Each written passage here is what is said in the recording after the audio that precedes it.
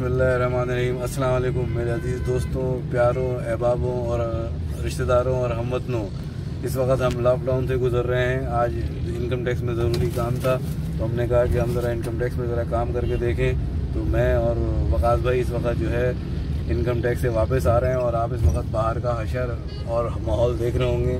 Traffic भी रवा दवा है और जो ज़रूरी काम है, लोग वो भी कर रहे हैं। और इस पोजीशन में नाली वाले लोग परेशान हैं, क्या करें? उनको और भी काम निपटाने और बहुत से काम करने।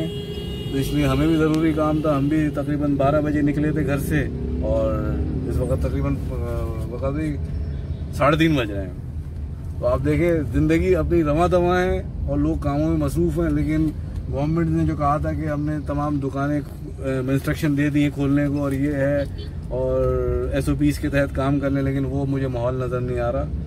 और बाकी इन ताला कल अगर वर्किंग होती है या कोई और काम होता है तो हम आपको कल बताएँगे कि क्या पोजीशन है। जजाकल्ला बहुत शुक्रिया, पाकिस्तान जिंदाबाद।